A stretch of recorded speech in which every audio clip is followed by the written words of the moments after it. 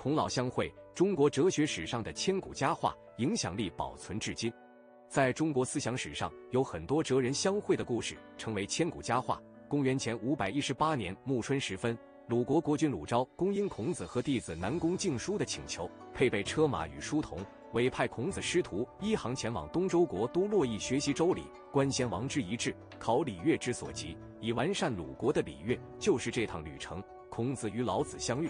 造就了一段儒道两家的千古佳话。在出发之前，孔子就曾向弟子表示，此行主要目的是拜望那里博古知今、通礼乐之源、明道德之规的老子，请教学问。这次会面被称为孔老相会，又名孔子见老子、孔子问礼、孔子问道等。在古代中国，儒家和道家是两个非常重要的思想流派，而孔子与老子的相遇，则是中国文化史上一个重要的历史事件。据记载。孔子是在向老子请教学问之前，就早已听闻过老子的大智慧。虽然孔子本身也是一位名闻天下的大思想家和大教育家，但他却自认为自己的思想和学问远不及老子，因此他一直渴望有朝一日能够见到老子，向他请教道理和学问。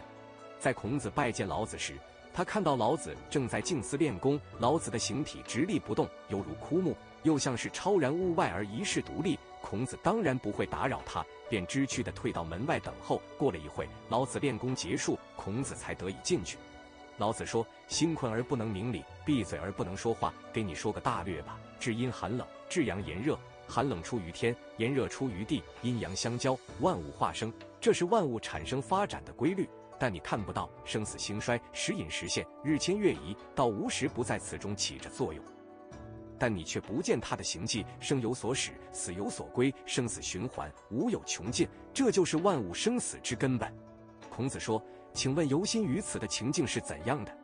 老子说：“这种境界是至美至乐的境界，能够达到的，可称为圣人了。”老子所说的正是道的道可道，非常道。他玄之又玄，是众妙之门。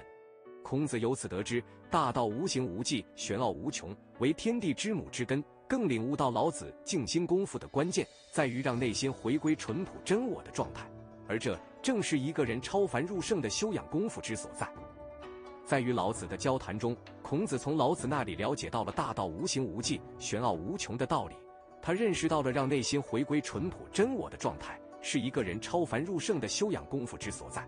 又有一次，孔子对老子说：“我研究诗、书、礼、乐、易。”春秋等六经自以为很久了，熟悉其中的道理了，但凭此夜见七十二个君主讲解先生您的道理，阐扬周公少公的业绩，可是没有一个君主采纳，太难了。是这些人难以说服，还是道理难以发扬呢？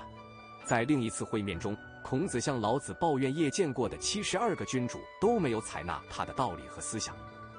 而老子则认为，这些君主不接纳孔子的思想，是因为他们难以被说服。同时，老子也指出，孔子所学的六经只是先王时期的陈旧知识，远远不是真正的道理。经过三个月的自修，孔子终于领悟到了开始时不明白的问题。他说：“出了乌鸦、喜鹊孵化而生，鱼儿如墨而生，风类则是化生。弟弟出生，哥哥失爱而啼哭。我离开自然造化已经很久了，自己尚未达到天人合一的境地，怎能去教化人呢？”的话。而老子则表示很好，孔丘得到了，并且让孔子认识到，道需要法天效的，与自然天地合一，才能真正得到道，从而学以致用，教化天下。老子告诫孔子，他所学的所谓六经不过是陈旧的知识，远远不是道。道需要法天效地，与自然天地合一，观察天地万物，观察事物发展的规律，才能得到道。得到道，才能把所学的知识融会贯通，从而学以致用，教化天下。孔子最终认识到此，所以老子说他得到了。中国优秀文化浩如烟海，名人名士层出不穷。如果你还想了解更多，不妨了解一下这套南怀瑾先生讲中国智慧系列。这套书以轻松诙谐的口吻，把传统文化中充满智慧和趣味的一面向我们娓娓道来。阅读此书，不仅增加国学素养，更能增添人生智慧。好了，话不多说，言归正传。孔子和老子分别是中国儒到两大文化体系的创始人，生长在中国这块土地的人均不同程度的受到孔子与老子思想的熏陶与影响。然而从表面来看，两学说思想迥异，甚至截然相反。孔子一生追求仕途成功，力图恢复西周社会的礼乐制度，渴望实现自己的仁政德治理念。在他心目中，最值得效法的偶像是周公。孔子在陈居交四年间形成的中庸思想，使孔学更加完美。中庸不是折中调和，而是如成语“若即若离”，恰到好处，适可而止，体现了善与美的融合。他创立的中庸之道，历来受到推崇。被看作是决断事物的最高标准。孔子的处事态度是知其不可为而为之，即使在他奔走颠簸、饱受断粮之苦、痛遭狂人讥讽、腹里想受挫未果之际，也从未改变自己的主张，仍坚持以治天下为己任的人生观。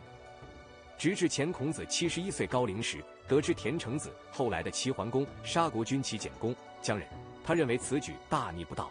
沐浴后，拖着老躯去朝见鲁哀公，请求派兵讨伐齐田氏，以正君臣之意。可其观念至老不移。与孔子不同的是，老子的主张则是清虚以自守，卑弱以自持，是为君愚之术。好《道德经》，充满高深哲理。他将道看作万物本源，是超越时空的绝对精神。在政治思想上，老子反对儒家的人，主张无为而治、无知无欲的生活，向往小国寡民的社会。所以，当他看到周王室衰微，乃归故里，又遭陈国灭国之痛，遂西行出关隐居，飘然不知所终。老子走的是一条秩虚的思维路线。老子提倡的自甘淡泊、师法自然、上善若水、以柔克刚等富有哲理的思想，永远启示着人们朝着宽阔时空前行。道是老子《道德经》的核心思想，它存在于天地万物形成之前的无中，又主宰并化生天地万物。这个道。实际上就是对天地万物的规律性认识及自然大道。道是规律，是真理，它是不以人的意志为转移的客观存在，所以我们只有遵循，不能违背，否则就是背道而驰，必然走向灭亡。道是规律，是真理，它是不以人的意志为转移的客观存在，所以我们只有遵循，不能违背，否则就是背道而驰，必然走向灭亡。孔子对于老子遇天上的龙赞叹不已。通过孔子赴京都洛邑向老子问礼之，他对老子深邃智慧的敬慕之情。然孔子对于这位长辈的谆谆告诫，并未听从实践，自深藏若虚的哲理，恐不能接受。对老于小国寡民、消极避世和决胜气质、绝人弃义、绝学弃之的主张，更是抗拒。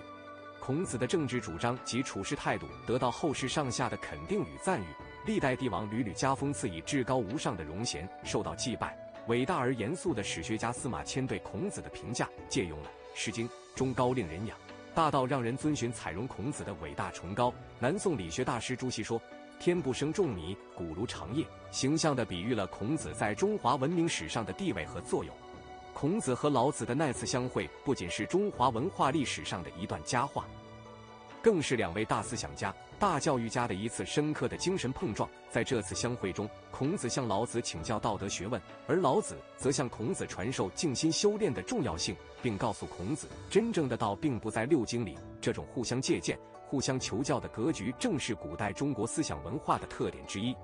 此次相会的意义，不仅在于儒道两家学派之间的互相学习和交流，更在于他们共同服务于民族大义。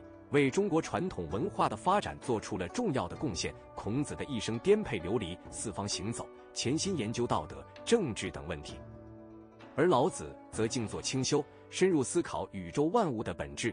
这种思想与修炼相辅相成的精神，成为中国古代文化的独特魅力。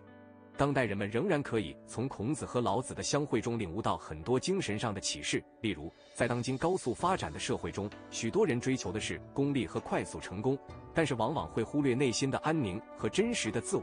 而孔老相会则告诉我们，静心修炼是获得精神力量和真正成功的基础。只有当我们回归内心的淳朴和真实状态，才能真正领悟道道的真谛。另外，孔老相会也展现了中华文化的包容性和博大精深。不同学派之间的交流和借鉴，不仅是自古以来中华文化多元性的一个重要表现，更是中华文化始终能够保持核心精神的根本因素。